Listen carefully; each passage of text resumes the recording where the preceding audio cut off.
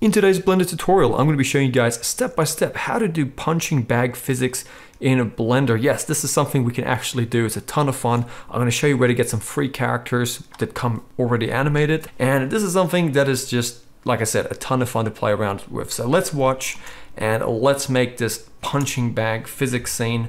And I'll be uploading this file as well to Patreon. So let's jump in.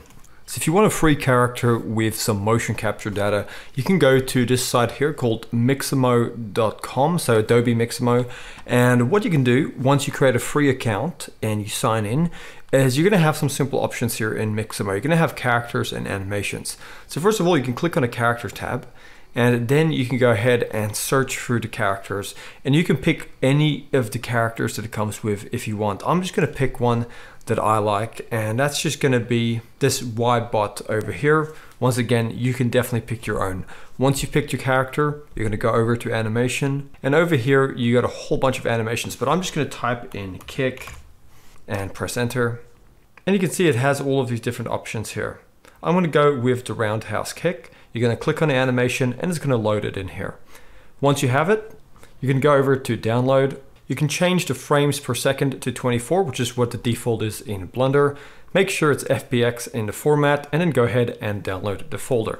So now in my downloads folder, I have this FBX file. And what I'm gonna do is we're now gonna open up Blender. And inside of Blender, you're simply just gonna go to File, you're gonna go to Import, you're gonna go to the FBX format, and then let's go to your downloads or wherever your computer downloads to, and you're gonna click on the FBX file and you're gonna go import FBX.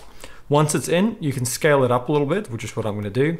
And then we're gonna select the character mesh itself. And we're gonna go Control A and just apply that scale for the physics interactions to be okay. We're then gonna grab this cube, just delete it. Let's delete everything else. So just have the character here. And if you go drag up on your timeline, you should be able to go ahead and hit the spacebar and play the animation. If you click on the rig, you can actually see the keyframes here. So let's come to the end frame value here and make it 180 frames, make it a little bit shorter. And uh, let's now give this something to kick. So we're gonna go Shift A. We're gonna add in a cylinder and we're gonna move the cylinder here to the front. We're gonna tab into edit mode and go S to scale it down and then G and Z to move it up a little bit. And let's grab these top verts and go G, Z and move them up like so. And then we're gonna go Control B to create a bevel and roll our middle mouse button to add in some segments. And let's just extrude this in at the top like so. And then let's add in a few segments by going Control R, hovering over here. And let's just click. And let's come here to our loop cut and slide. And let's just drag this value up until we've got a nice few amount of cuts like this. Okay, now that's looking good. Let's tab back out. Let's right click and go shade smooth. Now let's go over to our object data properties. Let's go and create a vertex group. This is simply just gonna be telling a cloth simulation what part of this we don't want to simulate. And that's gonna be the bottom. So let's just tab into edit mode and select the bottom verts like so. And let's go and assign them to that selected group. Tab back out. And now we can go over to our physics. Let's give this a cloth. Go back to frame one. And let's go over here in our cloth settings and do a few simple things. Number one, we want to go to our shape. We want to enable the pin group over here and select that group we pinned. And then we want to go ahead and go up here to this pressure, which is going to inflate it. And let's change pressure to something like 21. You can change it to whatever you want. That's what I'm going with. And now we have um, some physics. So if we go to frame one and we hit the spacebar, we can see this thing is inflated, but our character isn't interacting. So we're gonna select the character mesh. We're gonna go over to our physics and we're gonna give it a collision. Then we're gonna make sure we're in frame one. And now if we hit the spacebar, it's gonna be a lot slower, but we're now gonna see there is an interaction. So now what you've done is you've created a punching bag. Pretty cool, right? And what we're gonna do, let's just quickly add in a floor. We're gonna scale up that plane. Let's scale it along the Y. And let's just give that a collision as well. Control A and just apply the scale. So now we have this really cool simulation. And if you don't want it to fall over so easily, you can just select it and go over to the pressure and bump it up to something like maybe 31 and then try it again. Um, whatever you want to go with, but you can see here it's looking pretty cool.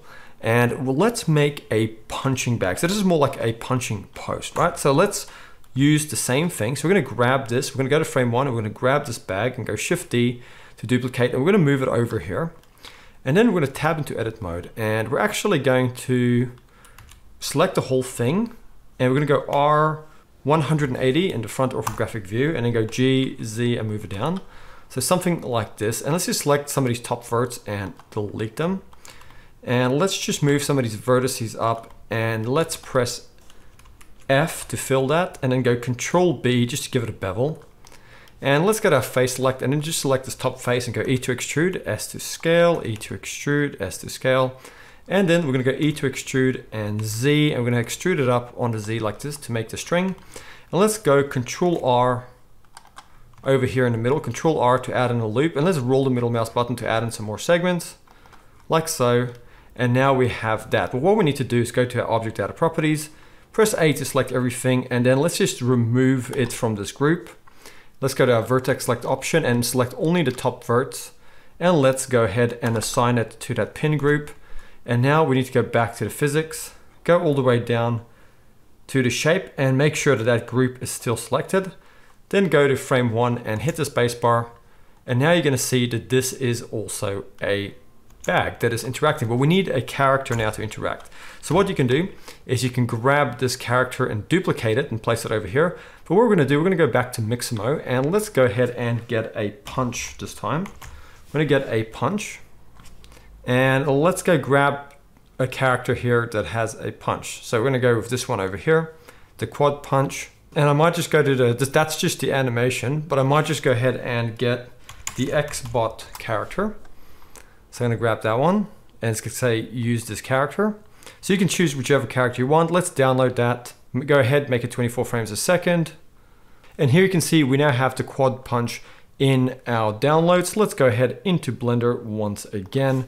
Let's go file, let's go import, let's go FBX, and let's go to our downloads now. Let's get that quad punch, click on it. And now we have this character, we're just gonna scale her up. And then we're gonna go G, Y, move her back, place her here where the bag is, and just select the mesh, go Control A and apply that scale. Give it a collision under the physics so it interacts with the cloth. Now go to frame one and hit the spacebar. And now both of these characters are gonna interact with the punching bags. How cool is that? Now, if you want these to be able to play out a little bit faster, let's first of all make sure to save our file. I'm gonna save mine to my desktop. And let's select the punching bag here first. Let's go over to the physics. And what I might do, I might just tab into edit mode, press A to select everything and go F3 and just type in unsub and go unsubdivide. Tab back out. And let's do the same with this one here. Just so it's a little bit lower resolution. And let's grab the first one here and let's go to our cache under the physics. Let's just make it 180 frames and let's go ahead and bake that. So now it's gonna bake it into the blend file. And there we have that now baked in. Let's grab this one over here. Let's go to its settings, make it 180. And let's also bake that one into the blend file. And there we have it. So now both of these are baked in. So this is how you can make punching bag physics in Blender. It's a ton of fun. And I'll see you guys next time for a tutorial. I'll be uploading my original to Patreon, which is this one over here, which is a ton of fun as well. So I'll see you guys next time and thank you for watching.